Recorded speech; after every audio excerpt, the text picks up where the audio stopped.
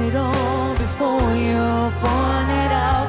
I cannot cry because you know this we can see your eyes.